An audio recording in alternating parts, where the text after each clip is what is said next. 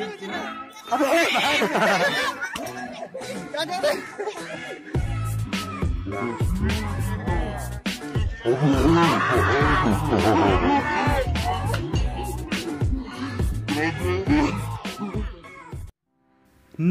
Friends, स्वागत है आपका हमारे चैनल आई क्यू क्रैक में। आज हम लोग दर्शन करने जाने वाले हैं शिखर जी के पास, यानी कि पारसनाथ महाराज के पास। तो जल्दी जल्दी अपने बैग्स को रेडी कर लीजिए और खाना पानी एक टाइम का पैक कर लीजिए क्योंकि ऊपर में आपको इसकी काफ़ी ज़रूरत पड़ने वाली है। तो चलिए चढ़ाई शुरू करते हैं। तो दोस्तों, अगर आपने कभी भी माउंटेन क्लाइंबिंग नहीं किया है तो मेरी आपको एक फ्री सजेशन रहेगी कि आप जो है अपने सभी एरे गेरे फालतू सामान को जो है अपने साथ ना ले जाएँ। जितना हो सके अपने शरीर को हल्का रखने की कोशिश करें। स्वेटर्स वगैरह को भी अपने गाड़ी में ही छोड़ दें। क्योंकि चढ़ाई करते करते आपके ऑर्डिनरी कपड़े भी उतरने वाले हैं। तो दोस्तों, हम लोग चढ़ाई करने वाले हैं एन एच टू के साइड से और उतरने वाले हैं मधुबन सिटी की तरफ़। इससे हम पूरे के पूरे पारसनाथ का विज़िट जो है अच्छी तरह से कर लेंगे। तो चलिए शुरू करते हैं। यार, ये पहली बार है कि मैं अपना फेस किसी वीडियो में डाल रहा हूँ। थोड़ा सा नर्वस आ गया हूँ।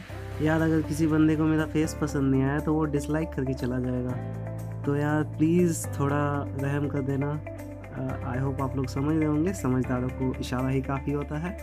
लाइक कर देना वीडियो को। तो चलिए चढ़ाई शुरू करते हैं।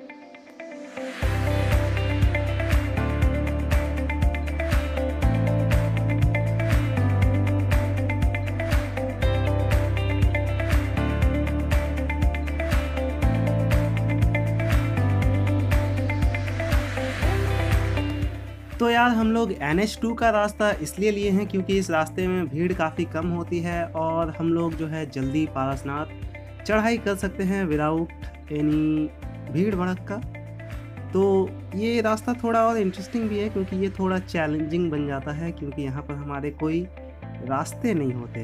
यहाँ हमें जंगल झाड़ी से जो है गुजर करके पारसनाथ की चढ़ाई करनी पड़ती है तो थोड़ा सा ये रास्ता चैलेंजिंग है, लेकिन काफ़ी इंटरेस्टिंग है और एडवेंचरस है। तो मैं बार बार जो है, अगर आप नए हैं और काफ़ी ज़्यादा एडवेंचरस पर्सन हैं, आपको चैलेंजेस पसंद है तो मैं आपको सजेस्ट करूँगा कि अगर आप पारसनाथ चढ़ने वाले हैं तो आप जो है एन एच टू का रास्ता लें। इससे आपका एडवेंचर जो है काफ़ी ज़्यादा मज़ेदार और चैलेंजिंग हो जाएगा।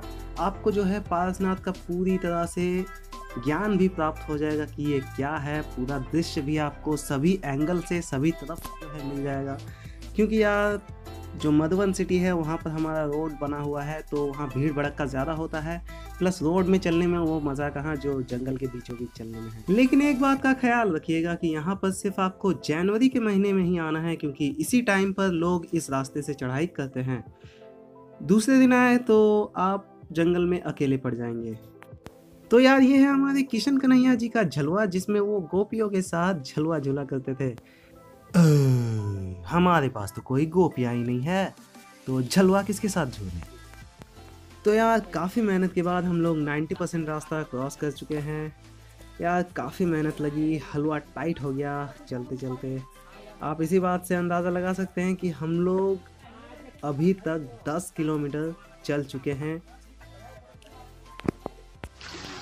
तो यार, हम लोग टॉप पर पहुँच चुके हैं और यहाँ पर हमें एक बहता हुआ पानी का सोता मिलता है। जो कि यार हमारे लिए तो गंगा जल के समान है, क्योंकि ये जो है एक्चुअली एक्चुअली ये जल मंदिर का वेस्ट वाटर है, जो कि यहाँ पर बहते हुए आ रहा है। वेस्ट वाटर है, इसका मतलब ये नहीं कि आप इसे पी नहीं सकते हैं। मैंने खुद भी इसे पिया है और मेरी माने तो ये तो किसी भी मिनरल वाटर को भी फेल कर सकता है। इसका टेस्ट काफ़ी अच्छा है, क्योंकि ये रॉक्स के थ्रू जो है बहते हुए आ रहा है। तो आप लोग तो समझदार हैं, इसमें जो है नेचुरल फिल्ट्रेशन हो जा रहा है। ये वाटर जो है पूरी तरह से खुद ब खुद नेचुरली फ़िल्टर हो जा रहा है तो काफ़ी टेस्टी है ये वाटर तो दोस्तों फाइनली हम लोग टॉप पर पहुँच चुके हैं और ये जो आप मंदिर देख रहे हैं, इसका नाम है जल मंदिर, जहाँ से हमारा पानी निकल रहा है। यहीं पर लोग जो है अपना लंच करते हैं, क्योंकि यहाँ पर पानी की सुविधा है। यार, मैं अपने एक्सपीरियंस से बता रहा हूँ कि जल मंदिर के अंदर का पानी आप मत पीना, काफ़ी गंदा स्वाद है इस पानी का। जो हमें बाहर में सोता मिला था ना, इसका वेस्ट वाटर वो काफ़ी गुना अच्छा था इससे। लेकिन इसका पानी सिर्फ़ हाथ धोने लायक है। तो दोस्तों, चलिए बकवास बंद करते हैं और मंदिर के अंदर चलते हैं और नज़ारा देखते हैं।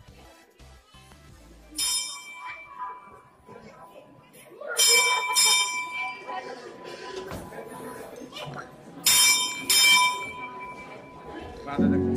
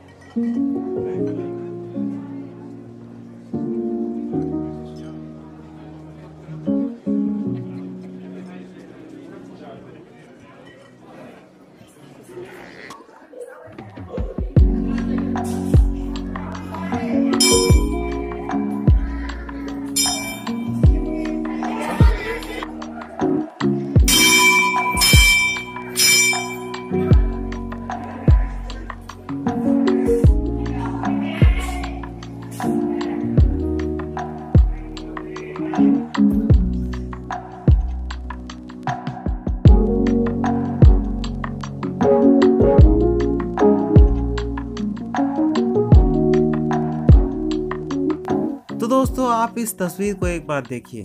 इस तस्वीर में कितनी गहराई है। ये तस्वीर बिल्कुल ही ओरिजिनल है, ये एडिटेड फ़ोटो नहीं है। आप देख सकते हैं इसमें कि हम लोग कितने ज़्यादा पॉल्यूशन भरे शहरों में रहते हैं। हमारी जो दुनिया है, वो पॉल्यूशन से कितनी भरी हुई है, जबकि इस पर्वत के ऊपर, इस पहाड़ के ऊपर आसमान कितना साफ़ है, पॉल्यूशन फ्री है, हवा काफ़ी ताज़ी है। तो यार, ये है यहाँ का सुसाइड पॉइंट। नज़ारा काफ़ी ख़तरनाक है और कमज़ोर दिल वालों के लिए तो ये बिल्कुल भी नहीं है।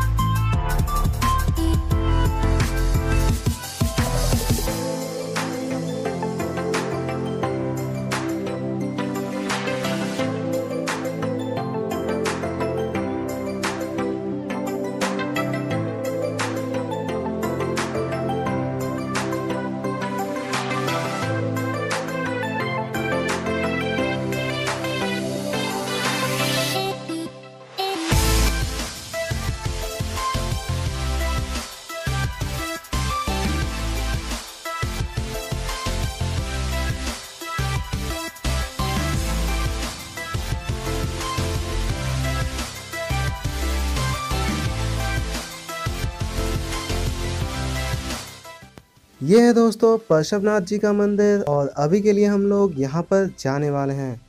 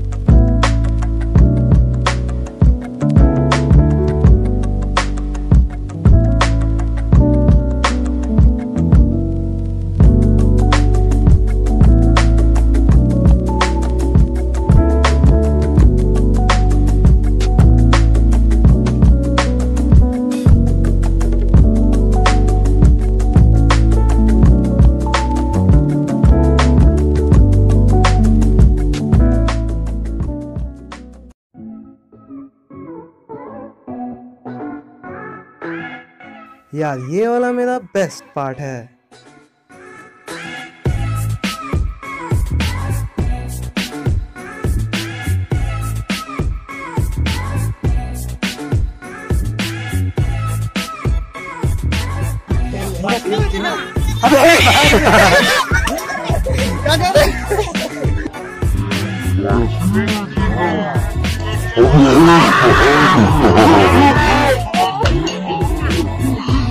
foda.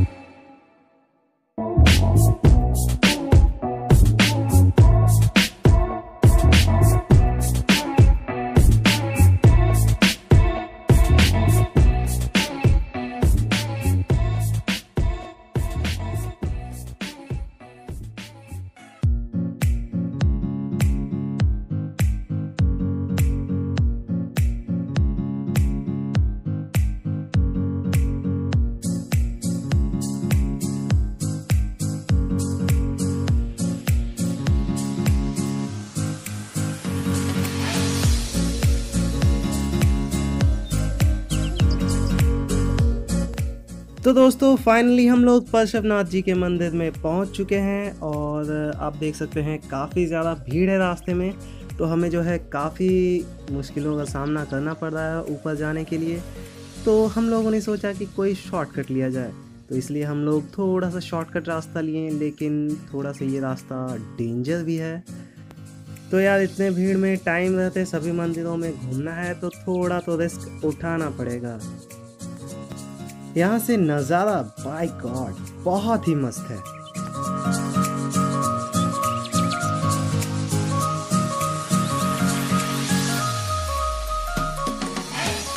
और यार, ये तो इस वीडियो का सबसे इंटरेस्टिंग एंड इंपॉर्टेंट पार्ट है। आप यहाँ पर ऑरेंज कलर का एक सेक्शन देख रहे हैं। साधुओं के अनुसार यहाँ पर अगर आप एक सिक्का प्लेस करते हैं और वो चिपक गया तो आप एक भले इंसान हुए और पुण्य कमाने वाले इंसान हुए। और इन केस अगर वो नहीं चिपका तो समझ लीजिए आपका जो पाप का टंकी है, वो ओवरफ्लो हो रहा है।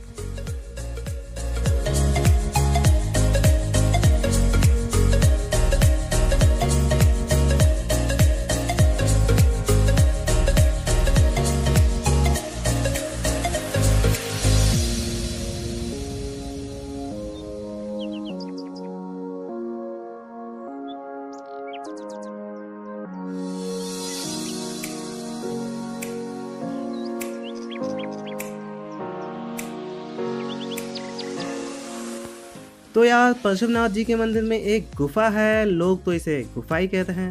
बाय द वे हम लोग इसमें जाने वाले हैं। तो चलिए देखते हैं, अंदर में हमें क्या नज़ारा मिलता है। तो ये रहा वो नज़ारा। यहाँ पर आपको देख सकते हैं परशवनाथ जी के चरण पादुका जो है यहाँ पर स्थित हैं। काफ़ी बढ़िया यार। यार आर्किटेक्ट ने काफ़ी सोच समझ कर डिज़ाइन किया है इस मंदिर को। ये रास्ता आपको सीधे इस मंदिर के बैकयार्ड पर ले जाएगा, जहाँ पर आपको नज़ारा काफ़ी कमाल का देखने को मिलेगा। देखिए यहाँ का नज़ारा।